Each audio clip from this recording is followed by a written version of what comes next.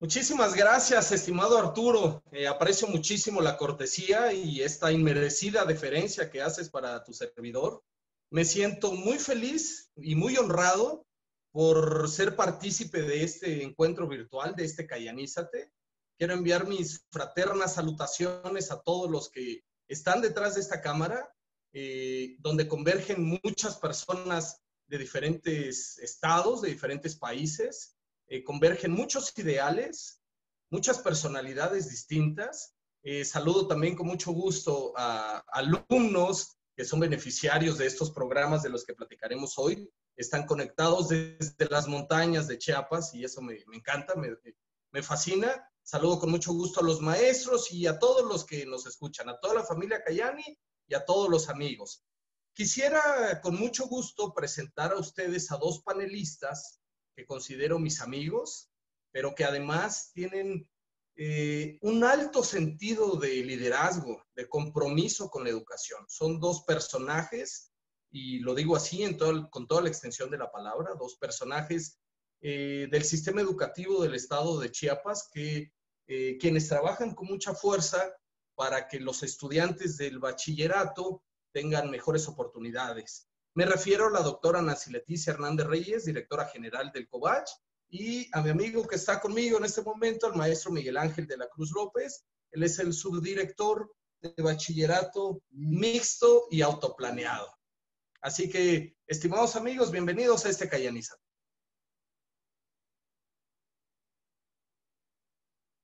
Ahora bien, me gustaría compartir con ustedes eh, una pequeña presentación.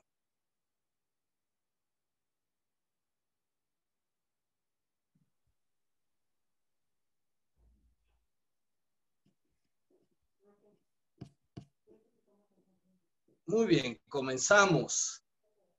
Y es mi eh, intención hacer referencia a la misión de la Fundación Caring Hands, la cual eh, surge como el compromiso de Cayani, de los aliados estratégicos, pero también de todos ustedes que forman parte de, la empresa, para mejorar eh, el acceso a la nutrición, sanidad y educación a niños y jóvenes necesitados y de esa manera brindarles esperanza.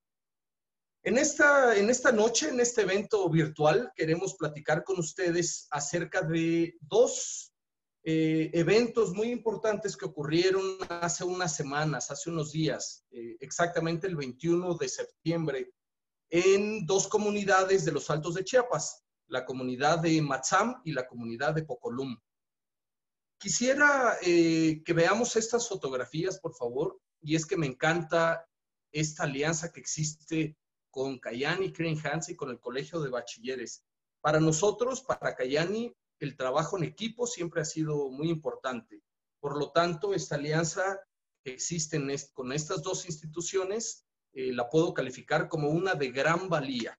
Y me gustaría preguntar a usted, doctora Nancy Leticia Hernández Reyes, ¿Qué significó para usted el evento que ocurrió en Matsam, dando inicio al semestre no solamente de esa escuela que se inauguró ese día, sino de más de 100 mil alumnos que estudian en más de 300 planteles ubicados alrededor del estado? Doctora, le escuchamos con gusto. Gracias, Erich. Pues un gusto de verdad estar con todos ustedes, con todos los que nos escuchan y nos ven.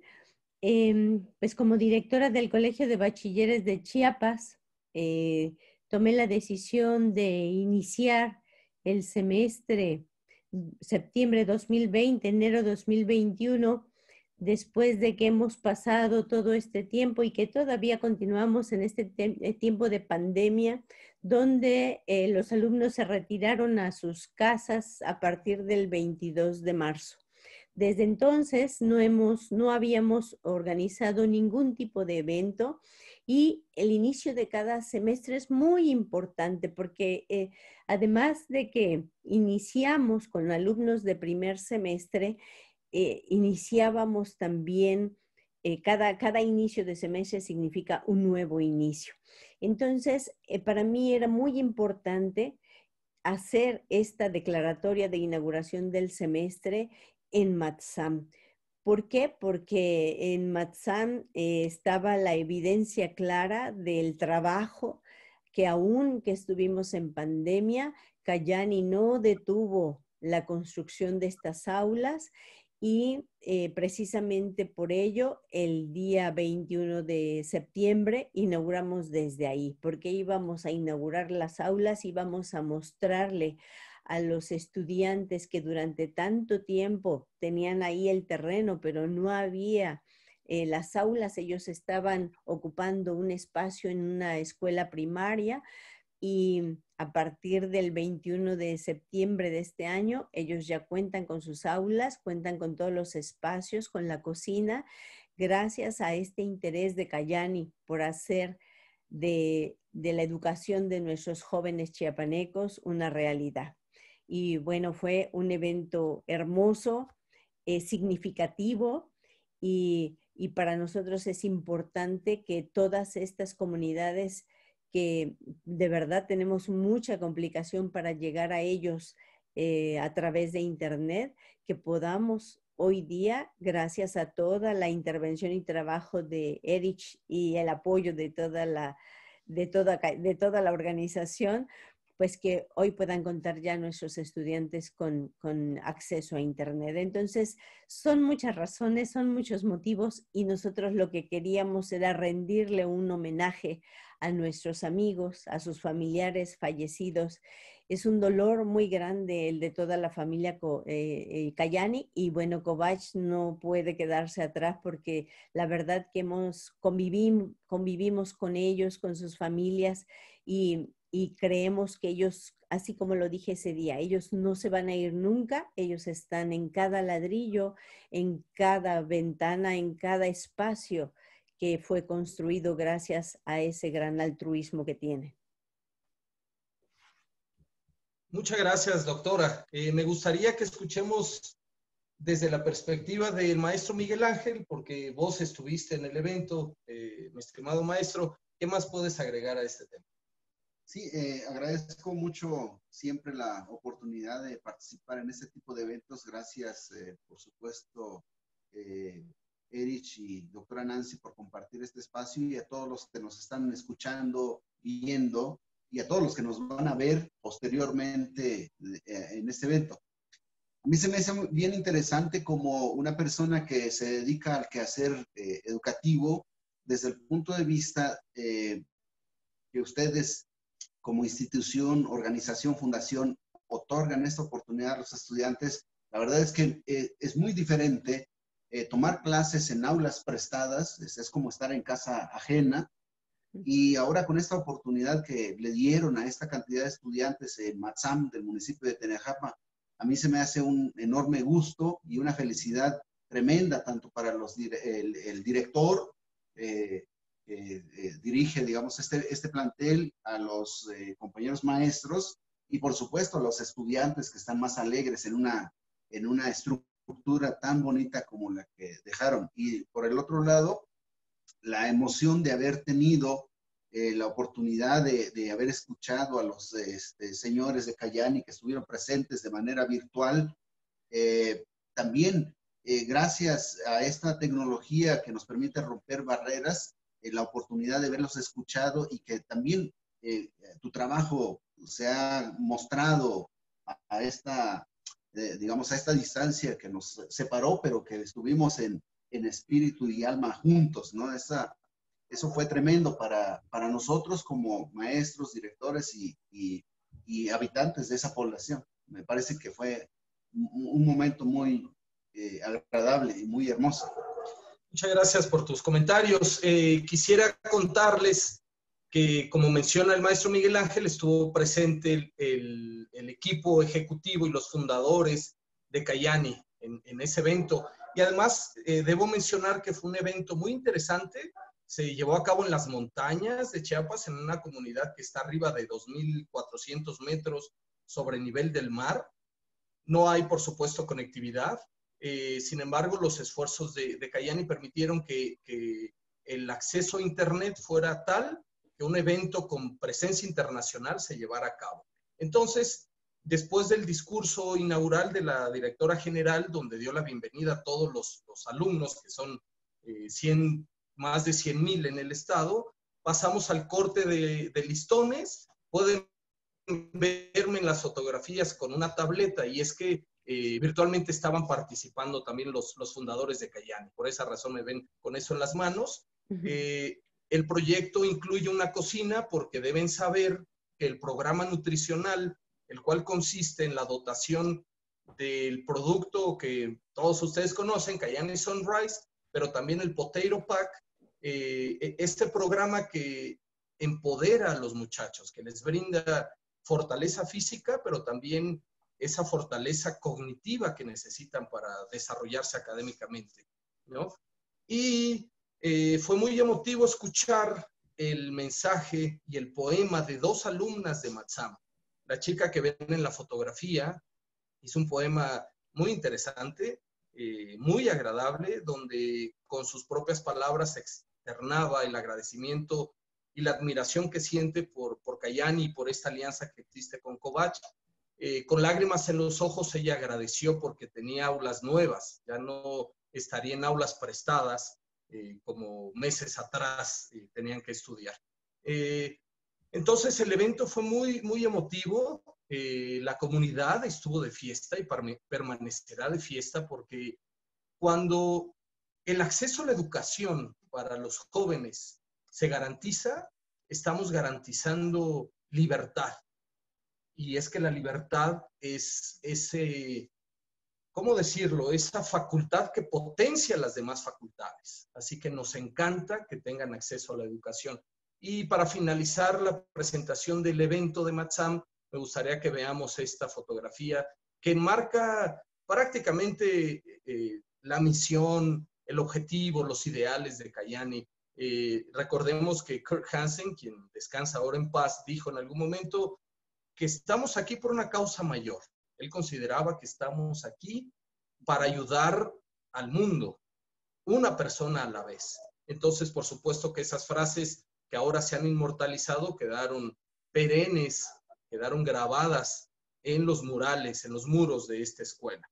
Y después de Matsam nos dirigimos a otra comunidad que se llama Pocolum y en ese lugar donde Cayani comenzó hacer proyectos humanitarios en Chiapas hace seis años, dimos eh, paso a la puesta en marcha de, algo que se llama Biblioteca Comunitaria Digital. Y me gustaría eh, escuchar, eh, mi hermano Miguel Ángel, por favor, en resumidas cuentas, todo el esfuerzo, todo el trabajo que ha significado echar a andar este proyecto, por favor. Sí, gracias, este, Erich. Eh, bien, la, comunitaria, Biblioteca Comunitaria Digital este, es una propuesta que para nosotros es novedosa para estos lugares en donde eh, existen alumnos alejados de las principales ciudades con, con, Internet. Es decir, que la propuesta está enfocada hacia esos estudiantes que no tienen acceso a Internet, pero que también por, sus con su, por su condición de infraestructura tampoco tienen acceso a la información por, por medio de, de, libros impresos, ¿no? Y en ese sentido, como el ejercicio educativo precisa de contar con materiales eh, de consulta para el proceso de formación que deben eh, utilizar alumnos y maestros, nos dimos a la tarea de pensar en equipo con la doctora Nancy, por supuesto, la dirección académica del Colegio de Bachilleres, el equipo completo de la subdirección de bachillerato mixto, donde tu servidor eh, está presente con estas actividades. Hay una gran cantidad de personas trabajando para este tipo de proyecto y que, por supuesto, Cayani tiene el gusto de participar por, por, esta eh, situación que los estudiantes están eh, teniendo, digamos, de, quedar excluidos de la información. Bien, el, problema central es remediar esta situación de los estudiantes que no tienen acceso a contenidos, libros, y que no tienen acceso a Internet. La propuesta, en cierto sentido, es muy simple, pero es eh, interesante a la vez. Eh, es una plataforma de, configuración digital de intranet, técnicamente conocido. Funciona con un equipo básico eh, de CPU que funciona como un servidor a través de un router y un access point se puede distribuir la señal de Wi-Fi de tal manera que los estudiantes y maestros directivos puedan consultar materiales digitales por medio de, dispositivos móviles, ¿no? Esto se venía pensando cuando platicábamos tú y yo acerca de esta dificultad de los estudiantes, de cómo no tienen esa posibilidad de obtener conocimiento y que bueno, y, que existe demasiado, ah, este, digamos, transitando por las redes de Internet, ¿no? Entonces, un poco en ese sentido, es, eh, fue haber configurado con, por supuesto, con compañeros muy, muy este, participativos también en la subdirección, Pablo y Javier, y luego hay, hay mucho, muchas personas este, más involucradas. Eh, se trató entonces de diseñar esta plataforma para albergar conocimientos y de ahí entonces tiene que ver eh, lo interesante que resulta es que, por supuesto, eh, cuando presentamos esta idea, la doctora Nancy también eh, participó en ese sentido de permitir la manera de llevar conocimientos, ¿no? hay otras instituciones participantes, por ejemplo, este, la maestra Mirna Ortega, quien es secretaria de Extensión y proyectos digitales de la Coordinación de Difusión Cultura UNAM, de la institución más grande del país que existe, ¿no? Entonces, ellos eh, cuando presenciaron esta propuesta, nos otorgaron la facilidad de transportar toda la cantidad de conocimientos que tienen alojados en su, en su servidor para llevarlo a las, a, las, a las condiciones de comunidad, ¿no? Donde están nuestros alumnos que no tienen eh, contenidos de consulta, ¿no? Y a partir de esta, de esta intervención, es cuando Cayani se da cuenta de esta oportunidad, se nos hizo muy interesante poder llevar estas, este, estas bibliotecas comunitarias digitales, ¿no? De tal manera que eh, es como podemos romper la barrera de dos situaciones. Una, de no tener conectividad y la otra, de no tener libros.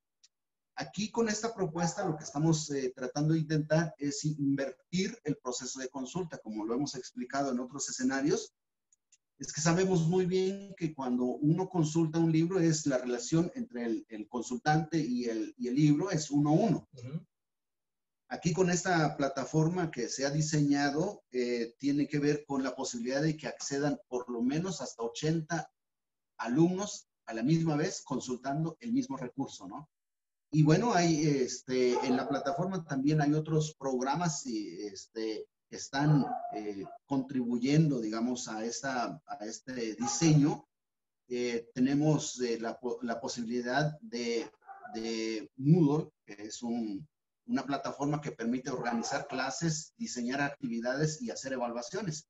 También otra plataforma que está propuesta ahí en la Biblioteca Comunitaria Digital es una es una plataforma que se llama Colibri, que es muy interesante porque contiene eh, información preestablecida para utilizarse por medio de las diferentes asignaturas, asignar eh, clases también y realizar evaluaciones con estos contenidos, que tiene que ver con la participación de otras instituciones internacionales eh, que avalan este tipo de propuestas, ¿no? Entonces, a mí me parece que esta propuesta se nos hace muy interesante porque remedia en varios sentidos llevamos conocimientos, rompemos la, brecha digital de acceso a la, información y este, promovemos la cultura de, este, de, consulta digital sin dañar el medio ambiente, ¿no? En, ese sentido, eh, cuidamos esta, esta participación con responsabilidad social, ¿no?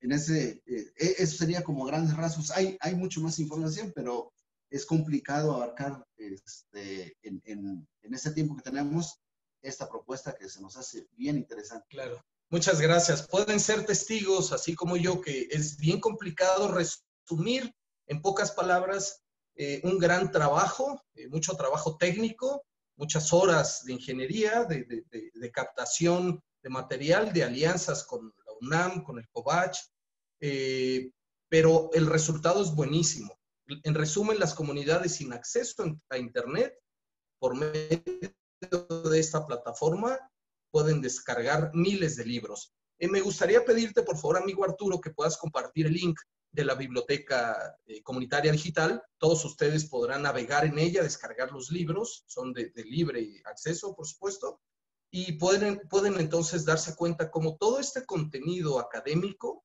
y cultural, juntos en una plataforma, eh, dan acceso a la educación a los jóvenes. Y me gustaría preguntar a usted, doctora Nancy, desde su perspectiva, eh, ¿qué tan importante es este proyecto para el COVACH? Bueno, Erich, podemos decirte que en términos numéricos estamos, desde que iniciamos hace seis años, em, eh, se benefician directamente a más de 800 estudiantes e indirectamente a más de mil personas en las poblaciones donde ustedes han intervenido.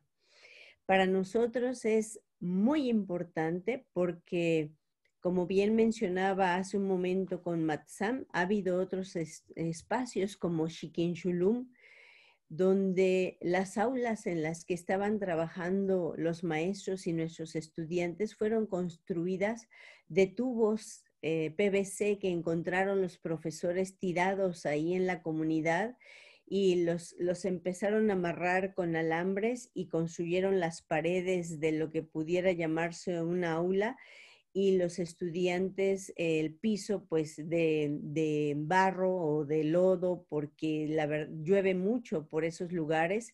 Entonces las condiciones en las que estudian varios de nuestros estudiantes son eh, de verdad pues precarias.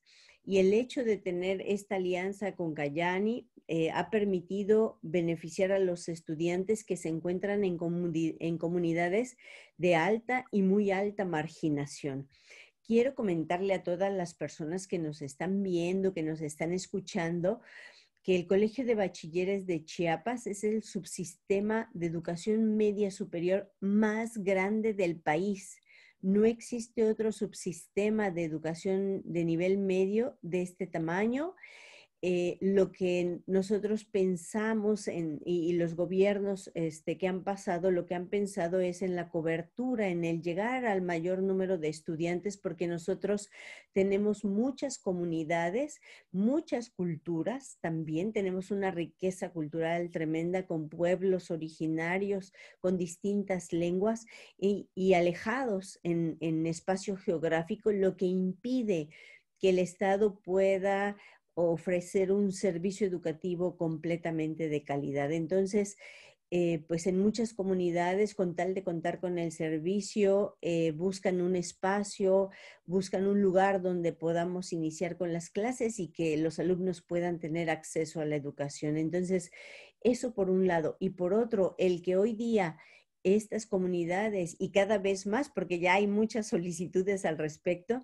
de, para poder eh, tener la biblioteca comunitaria digital, me parece que estamos dando un salto cualitativo enorme en todas estas comunidades porque los estudiantes, los profesores van a tener acceso a estos libros, a esta información que se encuentra en, estas bibliotecas, sobre todo en la biblioteca de la UNAM, que es la universidad más importante de Latinoamérica. Entonces, si, si nosotros sumamos todos estos beneficios, creo que eh, e, es, es muchísimo, es grande, es grande el apoyo y sabemos que vamos a seguir contando con, con, este apoyo, con la alianza que tenemos, que hemos iniciado, porque solamente ver el rostro de nuestros estudiantes, viendo sus espacios, conociéndolos, palpándolos, creo que cualquier esfuerzo vale la pena. Y por eso estamos agradecidísimos. Muchas gracias. Gracias por, esos comentarios, eh, doctora. Me gustaría traer a colación eh, algo muy interesante. Kayani Hans ha establecido sobre tres pilares eh, la filosofía en sus proyectos. El primero tiene que ver con reconocer y respetar las diferencias culturales. En segundo lugar, eh, se establece este pilar eh, que se funda con las relaciones colaborativas de confianza con las instituciones como el COVACH, pero también con los padres de familia, con los alumnos y con la comunidad entera. Eh, debo decirles que cuando construimos aulas, por ejemplo, eh, los padres de familia donan mano de obra y logramos que el proyecto tenga sentido de pertenencia. Es decir, queremos dejar mucho más que un espacio físico educativo. Queremos dejar ese sentido que impulsará a sus hijos a que sigan educándose, ese sentido de pertenencia que citado. Y el tercer pilar tiene que ver con abrazar una filosofía de compañerismo, es decir, la responsabilidad debe ser compartida, de tal manera que en las comunidades, eh, no me dejarán mentir los directores, maestros que nos escuchan eh, y los alumnos que están presentes, eh, e, ellos participan en el diseño, en, el color, en el tamaño quizá, en la orientación de sus aulas, porque también trabajarán para que se, se lleve a cabo. Entonces, este tipo de filosofía me, me encanta, la filosofía de compañerismo es fabulosa y por supuesto siempre eh, reconoceré públicamente el, el gran corazón que tienen nuestros fundadores, pero también ustedes que nos están viendo, que nos escuchan, que forman parte de la familia Cayani. Todo esto no sería posible sin sus donaciones, sin sus compras del producto, sin las cartas que mandan de pronto a los, a los estudiantes que los motivan, sin su participación en las expediciones en Chiapas en cualquier otra parte del mundo donde Cayani tiene proyectos. Entonces, eh, me gustaría extender esta satisfacción que nosotros tres que estamos charlando con ustedes sentimos, eh, queremos trasladarla a ustedes porque deben disfrutar de esa satisfacción. Cada, cada vez que tú participas de alguna manera con Cayani, debes saber que habrá un joven beneficiado en alguna parte del mundo y que te lo va a agradecer. Entonces, eh, para ir terminando este Cayanízate, me gustaría centrar eh, nuestra atención en lo siguiente. Al finalizar la, la puesta en marcha de la biblioteca digital, dimos paso a un evento muy emotivo. Tiene que ver con la revelación de un mural que fue pintado por un amigo mío, eh, el pintor Luis Herrera, pero además de ser muralista, es director de uno de los planteles donde Cayani construyó aulas. Eh, él y sus alumnos diseñaron y pintaron el mural que a continuación intentaremos describir. Eh, fue denominado Coltael Coltael quiere decir en, en Tzotzilitzaltal, que son lenguas que provienen del maya, eh, liderar. Liberar. Liberar. Liberar. Es eh, ayudar. Pero tiene, tiene dos, este, es una palabra muy interesante porque tiene dos acepciones, ¿no? El sentido directo, cotidiano, es ayudar. Pero eh, el otro sentido que está detrás de este primero es liberar, de libertad. Pues de ahí que es muy interesante, eh, que, compagina muy bien con toda la filosofía de Karen Hans, porque en cierto sentido lo que hacen con la educación o, el otorgar educación es liberar, crear libertad eh, a través de, la formación académica, a través del ejercicio del pensamiento. Entonces, el, sentido es, es, desde este contexto, es más liberar que ayudar, ¿no? Ayudar tiene su aplicación, que le das la mano, como nos han expuesto ustedes en la eh, misión y visión de, de Cayani, ¿no? Dar la mano a alguien que la, la, necesita, como nuestros estudiantes. Pero también es, te doy la mano para que puedas ser libre mediante eh, estos programas que Cayani está implementando con, nosotros en Colegio de Bachilleres.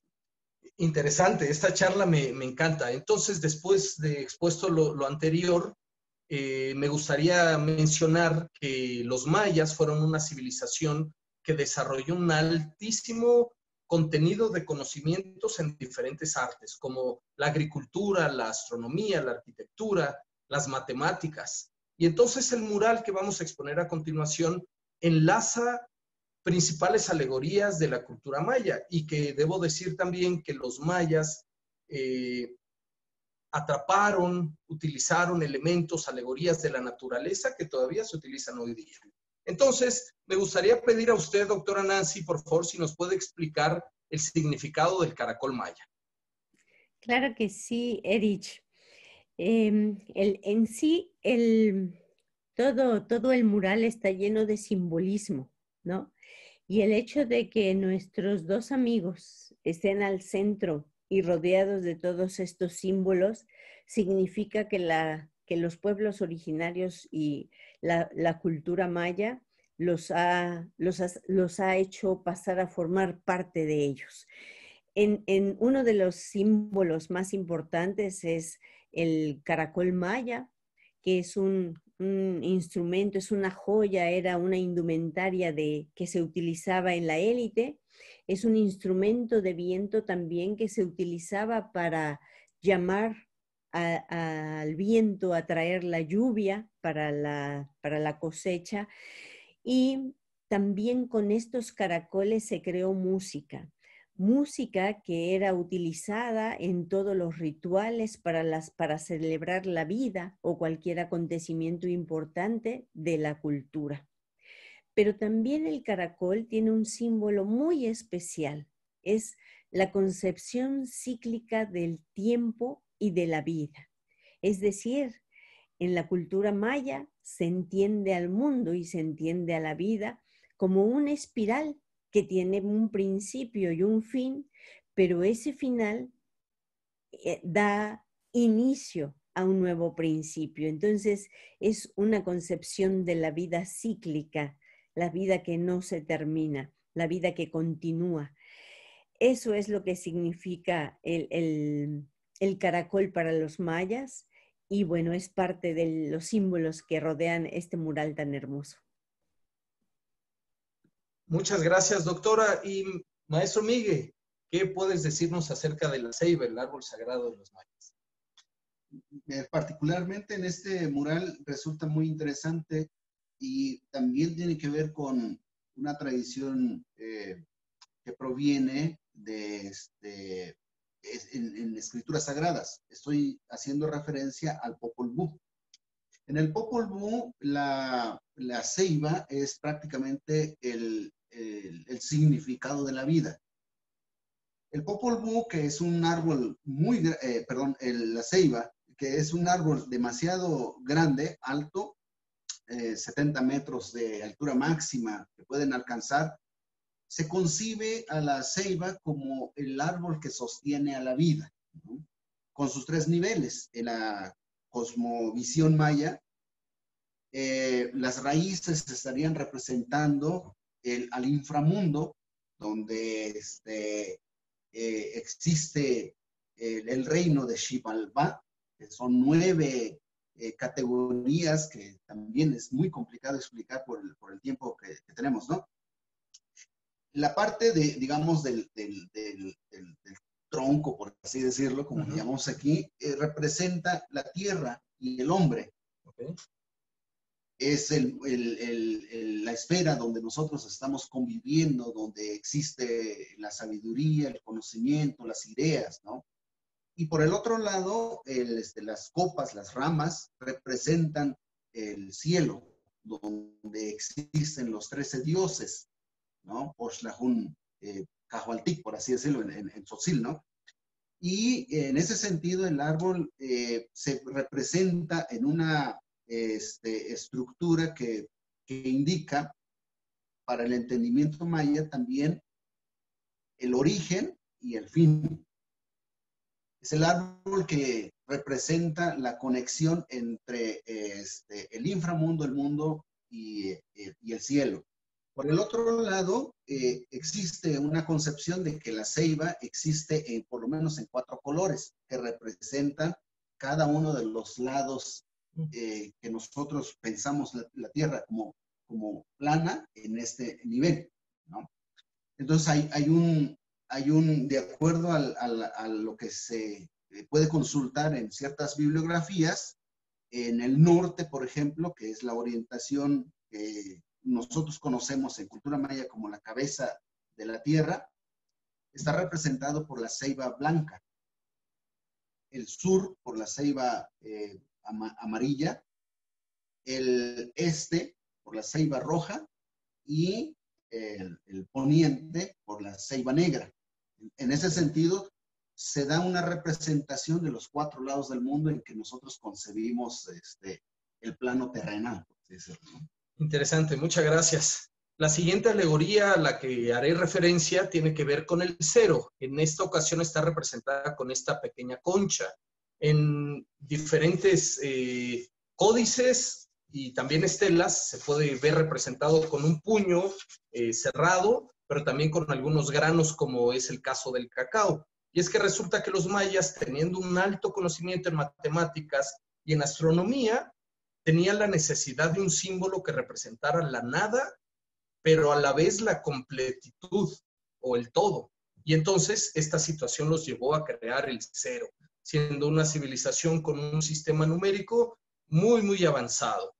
Eh, en esta misma eh, página de la proyección vemos dos elementos importantes, que son las estelas y los códices. Y estimada doctora, ¿qué puede decirnos al respecto? Bueno, Erich, ¿qué te puedo decir? Em, los códices mayas son de los, uno de los pocos códices que existen en el mundo y en ellos están plasmados todos los vestigios del conocimiento de la cultura maya, que era, eh, que era enorme, ¿no? Eran, tenían grandes conocimientos en, en matemáticas, en astronomía, en física. Entonces, en estos códigos, en estos códices mayas, que es la comunicación que ellos nos dejaron de todo el conocimiento acumulado por ellos mismos. Y en el caso de las estelas, son piedras calizas que representan la historia de los gobernantes, de los príncipes, de los reyes. Entonces también en estas estelas los mayas dejaron plasmada esta historia de, de, todas las batallas que tenían, de cómo vivían y de cómo gobernaban. Entonces nos parece que todo este simbolismo rodeado y reunido en un solo mural tiene una riqueza enorme. Muchas gracias. No quisiera dejar pasar otro simbolismo muy interesante eh, y tiene que ver con el calendario maya. Mi hermano, cuéntanos un poquito al respecto. Sí, gracias. Eh, eh, me gustaría pensar en, lo del caracol y en lo, del cero, porque tiene que ver con la manera en cómo los mayas piensan y categorizan numéricamente el tiempo. Eh, en, la cultura maya se habla de, una existencia cíclica del tiempo, ¿no? Y el calendario maya es uno de los calendarios más complejos que existen, ¿no? Que se pudo haber eh, eh, integrado, digamos, a partir de este conocimiento que tenían los mayas de, la observación de los cuerpos celestes, ¿no? Es bien interesante porque este, coexisten varios calendarios, unos más pequeños que alimentan al siguiente y al siguiente y al siguiente. Hay un calendario lunar, un solar, uno de uno agrícola y hay un gran calendario que da cuenta más o menos como el principio del tiempo que calcula la generación de tipos de hombres que han existido sobre, sobre la Tierra. El 21 de diciembre del 2012 todo el mundo pensó en algún momento que era como el fin del mundo, para los mayas era el fin de un ciclo muy grande. Y este, lo que nos queda como vestigio eh, ahora en nuestra cultura este, maya moderna, por así decirlo, los que habitamos estas tierras donde Cayán tiene presencia, recordamos el último calendario que se llama Cholquín en Tzotzil, Solquín en, maya. Y es un calendario de 260 días.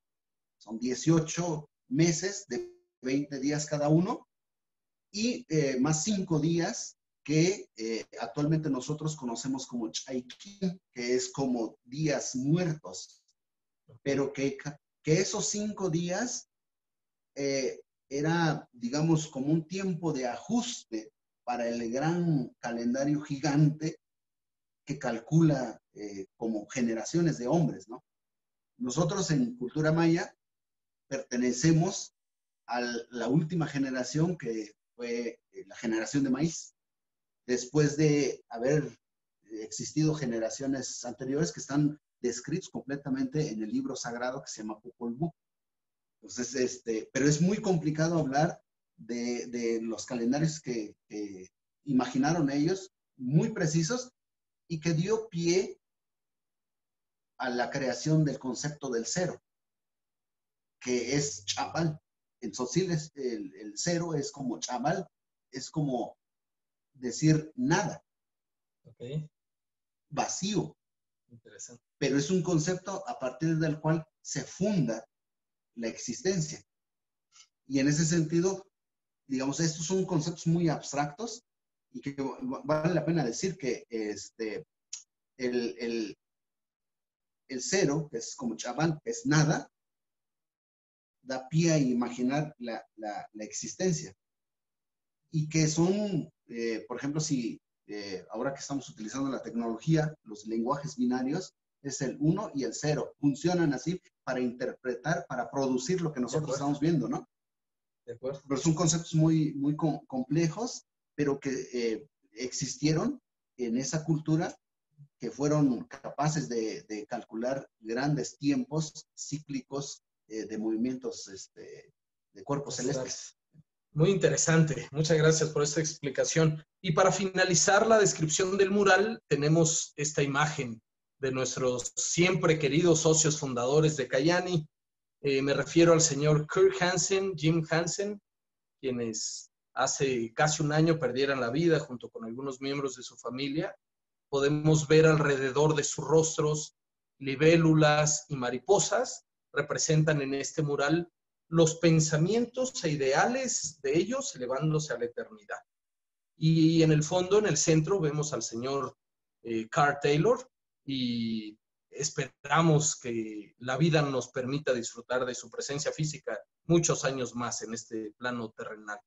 Y es muy interesante ver que decidieron los alumnos y el pintor, el director de, este, de esta escuela, dibujar a ellos en el centro, porque ellos tres, usando sus recursos, sus ideales, sus talentos, y después de haber reconocido esta grandeza cultural de la que hemos estado charlando, eh, hicieron una alianza estratégica con instituciones educativas como el COVACH, como la UNACH, pero también con ustedes, socios, distribuidores, clientes, amigos de Cayani, y juntos estamos logrando estos ideales, estamos dando acceso a la educación vanguardista de los jóvenes de las comunidades indígenas de los Altos de Chiapas pero que son los herederos de esta cultura maya.